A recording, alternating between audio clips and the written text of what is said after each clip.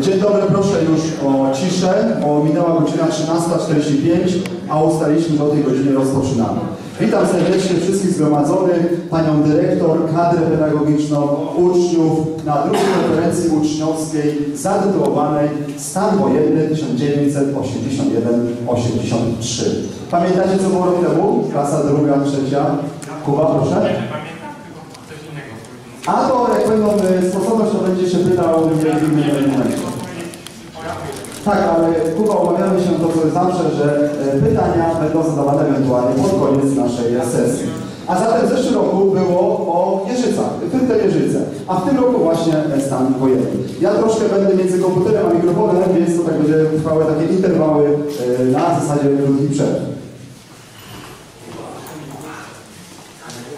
Jak wygląda nasz program? Po pierwsze, e, będzie otwarcie przez Panią Dyrektor e, na naszej konferencji uczniowskiej. Następnie ja e, zajmę głos, kiedy przedstawię taki, myślę, dosyć ważny temat stracona dekada. Czy lata 80. XX wieku to stracona dekada? Właśnie postaram się to, na to pytanie odpowiedzieć. Następnie puścimy jeszcze raz projekt szkolny, w tym sensie jeszcze raz, bo dotąd przecież widzieliśmy to na dużym ekranie ale chcemy jeszcze raz to obejrzeć, bo mamy doskonałą okazję, gdyż po tej emisji będziemy rozmawiali z y, aktorami tego projektu.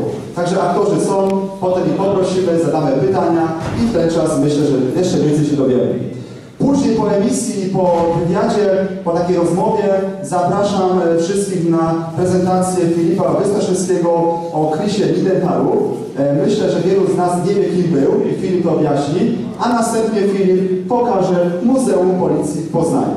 I wreszcie, w tak zwanej drugiej części, e, powinien wystąpić Sebastian Schulz, ale jest na praktyce e, w Archiwum Archidiecezjalnym w Poznaniu, dlatego ja w jego imieniu pozwolę sobie przedstawić jego przy, e, przygotowany temat. Dlaczego? Bo podobnie jak Filip, Sebastian Schulz bardzo interesuje się historią i również lubi czasy PRL. No i w końcu bardzo czekam na te dwa ostatnie elementy, mianowicie poznańskie ofiary stanu wojennego. To zaprezentuje klasa pierwsza LB pod moją opieką. E, są tutaj w naszej szkole zajęcia dodatkowe e, z rozwoju uzdolnień historycznych i dlatego chciałbym, żeby e, klasa pierwsza LB pokazała, co przygotowała. I wreszcie na zakończenie wspomnienie pracowników szkoły o czasach stanu wojennego. Chcę powiedzieć, że dużo osób się zgłosiło tych wspomnień, ale z przyczyn czasowych wiele osób jednak nie przyszło. Na przykład pani Hanna Kaczmarek czy pan profesor Włodzimierz Napis chcieli wystąpić, no ale inne obowiązki spowodowały, że nie są z nami. I chciałbym jeszcze podziękować e, Pani Marcie Klewny, z którą no tak długo współpracowałem dzisiaj nie ma, ale zawsze jednak była gotowa mi pomóc. Dziękuję Panu Łukaszowi Węclowi za to, że udostępnił szkolny laptop oraz Panu kierownikowi Wiesławowi Olechowi, który podłącza zawsze sprzęt.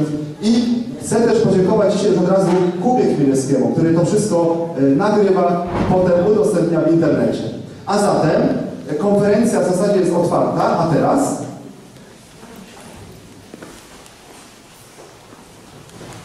Bardzo proszę o y, głos i otwarcie pani dyrektor Elżbiety Olsza.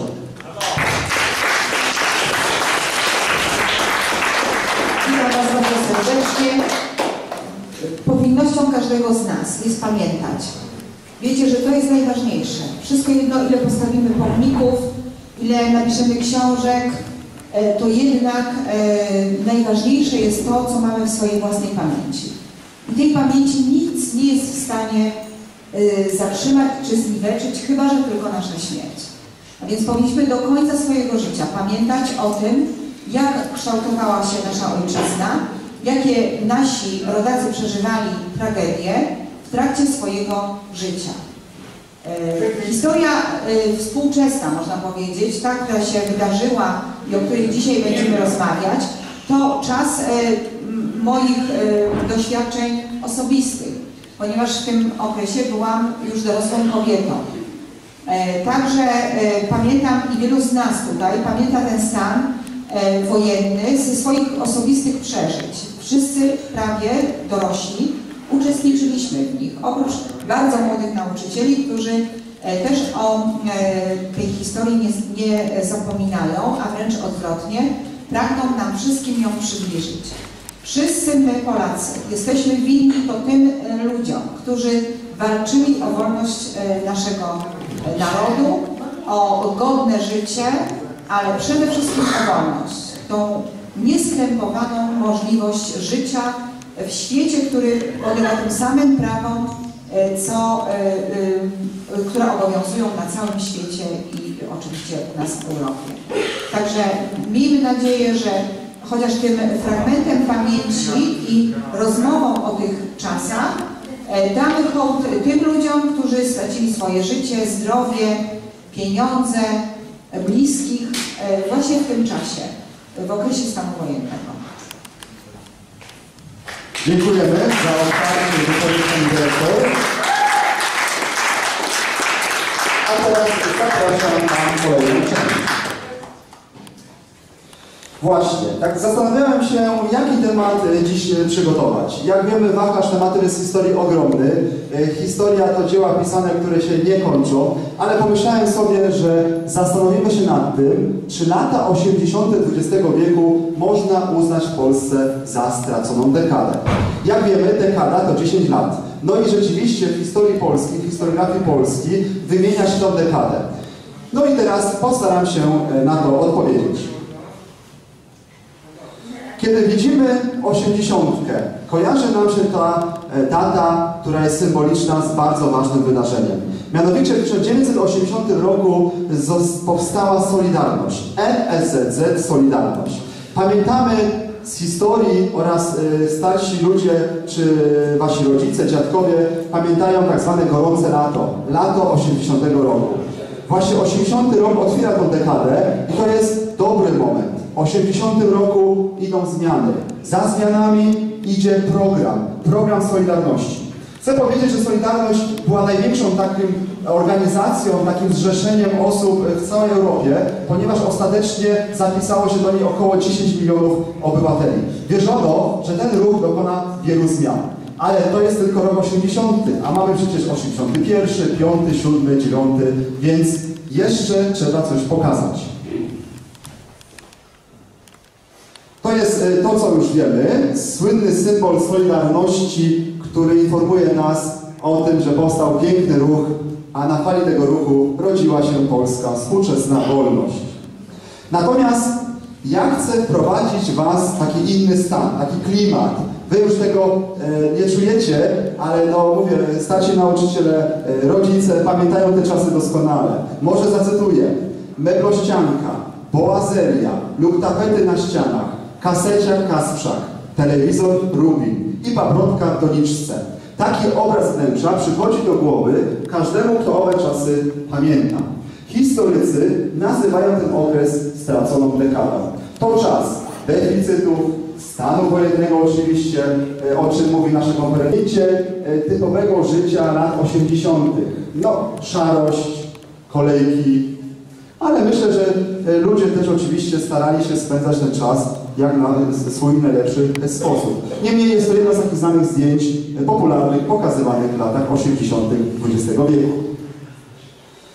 Aby było tego nie mało, Teresa Kuszyńska w 1986 roku e, w takiej książce Mieszkanie z wyobraźnią pisała tak. Jeszcze raz e, za- zacytuję coś nowego. Przytłaczająca większość wyposażenia polskich mieszkań sprowadza się do meblościanki, maksymalnie rozbudowanej oraz towarzyszących jej foteli, kanap i niskiego stolika do kawy. To po prostu była taka rzeczywistość. M2, M3, blokowiska, które zostały zniesione za e, czasów e, Gierka, szczególnie pierwszej połowy, ale też już za późnego Gomułki również e, takie bloki budowle e, powstawały. Czyli jak widzimy mamy taki pewien klimat, a do tego jeszcze dodam samochody, Wartburg, Tarpan, Polonez, Maluch, Duży Fiat, a nawet Warszawa, takie samochody jeździły po ulicach naszych miast. I teraz pewna rzecz, która musi być jakby trochę e, takim antagonizmem w stosunku do tego, co powiedziałem. Pomimo tego, że jednak rzeczywiście uznaję, że ta dekada pod względem gospodarczym była stracona, to pamiętajmy, że jednak 80 rok coś rozpoczął i koniec dekady też coś rozpoczęło. Mianowicie 89 rok to są przemiany e, transformacyjne w Polsce, czyli powstał nowoustrój. Natomiast nie wiem, czy wiecie, bo znowu e, pewnie rodzice wasi to znają, wiedzą, po prostu był bardzo wysoki przyrost Jeszcze przed II wojną światową rocznie przychodziło na świat e, około milion naszych rodaków przez jeden rok. W latach 80., co pokazuje ta krzywa czerwona, rodziło się ponad 700 tysięcy obywateli. To jest bardzo dużo. Potem proszę zobaczyć, kiedy widzimy lata 90., 2000, ten przyrost naturalny bardzo malał. Dopiero w zeszłym roku populacja urodzeń przekroczyła 400 tysięcy, bo tak co roku e, rodziło się ponad 300 tysięcy obywateli. Co to znaczy? Że z jednej strony dzisiaj Polska jest e, społeczeństwem starzejącym się, o tym wiemy, i biją na alarm socjologowie, ale pamiętajmy, że w latach 80. ten przyrost naturalny był wysoki. Dlatego też ja nie potrafię powiedzieć zdecydowanie, czy to jest stracona dekada. Ja jako historyk mam swoje zdanie. Ja nie, jednak większość historyków uważa, że ta dekada, dekada była stracona. Szczególnie jeśli chodzi o poziom życia. Natomiast jak widzimy, ten dowód pokazuje, że nie wszystkie e, te sfery negatywne musiały być w jednej płaszczyźnie. Dlatego też pamiętajmy, stracona dekada, ale zawsze też znajdziemy jakieś elementy pozytywne, które można przedstawić. Zwłaszcza z początku lat 80. i na końcu. Dobrze, to takie wprowadzenie e, w nastrój e, lat 80., żebyśmy mogli poczuć ten stan wojenny, który rzeczywiście jest ważnym momentem w historii Polski. I w zeszłym roku, w maju, był kręcony projekt Młodzi Solidarni. Teraz puszczę ten projekt, proszę obejrzeć i przypomnimy sobie, jak to wszystko wyglądało. Zapraszam do obejrzenia. E, Przede wszystkim witam wszystkich zabranych. Em, dobrze, dlaczego akurat e, stan wojenny? Dlaczego lata PRL? Dlaczego młodzi Solidarni? Przede wszystkim em, m- musicie wiedzieć, że, b- że interesuje się bardzo mocno historią. Przede wszystkim historią współczesną, najnowszą. I w historii kinematografii polskiej powstało dużo e, filmów o tematyce PRL-u. Przede wszystkim po upadku komunizmu był taki swego rodzaju boom, tak cały czas jest, na tworzenie filmów e, o latach komunizmu, o PRL-u, czy to, e, czy to nie wiem, czy to o walce Solidarności, czy o żołnierzach wyklętych, czy, e, czy nie wiem, inne bardzo znane wydarzenia jak Marzec 68 czy Grudzień 1970. Em, Wydaje mi się wciąż, moim zdaniem, że za mało, e, moim osobiście zdaniem e, uważam, że dosyć mało mówi się e, o stanie wojennym, o latach PRL-u, dlatego e, chciałem, napisałem scenariusz właśnie Młodych Solidarnych, żeby pokazać szerszemu grona publiczności, że młodzi zrobili film, zrobili film o no, niełatwej dosyć tematyce, poruszyli bardzo dosyć taki też no, niełatwy temat, ale pokazali, że zależy im na historii. I to jest bardzo ważne. Pe, pe, pewnie duże, duże grono by tak zareagowało. E, dobrze, dlaczego e, Młodzi Solidarni? Dlaczego akurat ten tytuł? E, Młodzi Solidarni ze względu na to, e, ponieważ musimy pamiętać o tym z historii, że, e, e, że stan wojenny, lata PRL-u to nie była tylko Solidarność i opozycja antykomunistyczna, to byli też normalni ludzie, którzy wychodzili na ulicę i sprzeciwiali się reżimowi. To też e, byli uczniowie liceum, szkoły podstawowej, bo wtedy gimnazjum nie było. Nie było wtedy gimnazjum, było 8 lat szkoły podstawowej, 4 lata liceum. I y, no i to też właśnie do tych ludzi należeli też młodzi ludzie, którzy też nie dali się omamić y, propagandy komunistycznej i też ra, razem z dorosłymi wychodzili na ulice z miast, aby walczyć przeciwko reżimowi, przeciwko władzy. I właśnie do tego ma się odwoływać y, tytuł Młodych Solidarnych. Młodzi, ponieważ im zależy na przyszłości Polski, ponieważ nie chcą żyć w kraju totalitarnym. Dziękuję. 2009 rok. Zdjęć nie dotykały właśnie, przyglądały się. Po lewej stronie są książki e, wypożyczone na ten czas, e, książki ważne, na przykład, o, Niedziela Westerlanka, to można sobie, e, to nie, to, to powiem, że jest element. Natomiast widzimy książki poświęcone czasom lat 80. oraz oczywiście stanu wojennego. Te małe książki są bardzo ciekawe. Akurat książki można zobaczyć, a zdjęcia bym prosił nie dotykać. E, Mamy tu zdjęcia, słynny plakat Solidarności, odznaki, które pan Lapis zbierał, ważne zdjęcia. I zaraz coś pokażę, co uważam, że jest cenne. To w ogóle są cenne rzeczy, bo to wszystko jest oryginał. Proszę zobaczyć, wychodziły takie znaczki Wałęsa Miodowicz. E, 30 listopada 1988 roku była słynna debata, która wprowadzała, można powiedzieć, e, sytuację nowego powiewu wolności, gdyż Wałęsa pokonał, zmiażdżył Alfreda Miodowicza w telewizji. A trzeba wiedzieć, telewizja ma ogromną moc i wtedy e, wiele Polaków, czy miliony Polaków to słuchało i wiedziało, że Wałęsa to jest nowy przywódca. No i w końcu oczywiście został e, prezydentem e, Polski. Słownie czy dosłownie? E, Dosłownie. Tu mamy Znaczy, też informacje... słownie czy dosłownie? Dosłownie tak jak tu wygląda. Mamy tutaj na przykład plac Tiananmen, gdzie działa się masakra studentów chińskich w 1989 roku. Także e, na Tiananmen, e, to jest taki w Pekinie był plac, gdzie tam e, studenci protestowali przeciwko władzom chińskim i zostali między innymi przejeżdżani przez czołgi. I to się nazywa plac niebiański, znany w historii. E, Tutaj są różne zdjęcia z historii, na przykład wejdźmy sobie, o proszę zobaczyć, e, słynne zdjęcie Lech Wałęsa e, wita się e, z Ojcem Świętym Janem Pawłem II, oczywiście e, przed tym Karolem Wojtyłą. Ten plakat mi się bardzo podoba. No to jest taki, można powiedzieć, aż widać po papierze, to archiwiści mieli widzieć. To jest pokazany z epoki ten papier, ta solidarność, znak, jeden z najbardziej znanych współczesnej Polski. E, Także myślę, że nasza dzisiejsza konferencja przyniosła Wam, e, młod- młodym ludziom, e, wiele wiedzy. Filip, tak, nauczyciele, już Asiu tutaj jest tutaj głos, no pokazali nam ten czasy z bardzo ciekawej strony i wiele z tego zapamiętacie. Asiu, proszę, już teraz głosy Wasze. Pamiętam jak ludzie, jak telewizję oglądałam, to było też wspomnienie takie, że jak wołali, jak stali w kolejce po chleb, że za chlebem gdzieś tam było. Tak, że- no oczywiście, kolejka, taka Tak, piosenka tak. nawet jest, tak. Ale jeszcze Ania, mam do Ciebie pytanie. E, Specjalnie wybrałem ten stół. Co oznacza ten stół, Ania? No dokładnie, a okrągły stół jest symbolem...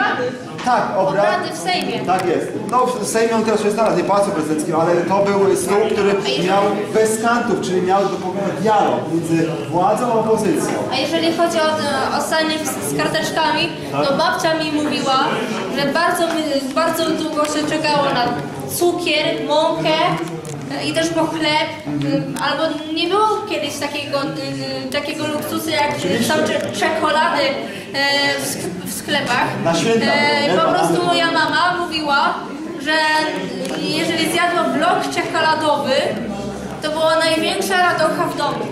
Właśnie. E, I że mama właśnie ten blok czekoladowy nauczyła mnie robić. To więc e, na następny raz, jak będzie te spotkanie znowu z Solidarnością, przyniosę kawałek, e, ka, kawałek bloku czekoladowego. Dobrze. Na spróbę. Tutaj mamy też. Czekoladopodobny, tak? Tak, o, takie też mamy biuletyny, z, e, widzicie ta czcionka, która to jest, pokazuje, to jest taka czcionka właśnie z lat 80. Także to jest doskonały materiał. Kiedy Pan napis to udostępnił, to byłem zachwycony, bo to naprawdę czucie pokój. E, e, wypowiedzi właśnie naszych nauczycieli, takie materiały, no to jest wspaniałe obcowanie. Czy może być lep, lepsza lekcja żywej historii? Myślę, że nie. Tak. Także, e, że tak powiem, możemy, tak, Bóg panowie przyznał. Ten kawałek muru. A no właśnie, tutaj pan, pan nauczyciel bardzo dobrze powiedział. Co to jest? To też jest ważna rzecz. Tak. Kawałek muru berlińskiego. No dokładnie. E, słuchajmy, e, okrągły stół jest bardzo ważny. Niestety na świecie bardziej znany jest mur berliński, ale e, no, to jest jeden z symboli, można powiedzieć, upadku komunizmu. I to jest kawałek muru. E, to jest ważna rzecz, ale można ją łatwo zdobyć, ponieważ można kupić na aukcji, bo ten mur był duży i po prostu go sprzedają tam za kilka czy kilkanaście euro. Także to jest prawdziwy mur berliński, który dzielił dwa światy. Tak, można sobie zobaczyć, proszę delikatnie. E, to też jest wystawione na dzisiejszą wystawę. Prawdziwy Jak mur. widzicie tutaj w kolorach, tak, fragment malutki muru berlińskiego. Są za 10 euro, można kupić Właśnie. Nie taki mały jak się zdaje. Dokładnie. przy, przy Muzeum Holokaustu. A przepraszam bardzo, ten, Tak. Ale no jest to symbol. ten, ten, mur, ten mur berliński był przerażający, nawet jak się ktokolwiek zbliżył do tego muru, to rozstrzelany. rację, masz rację. Zaraz cię tego...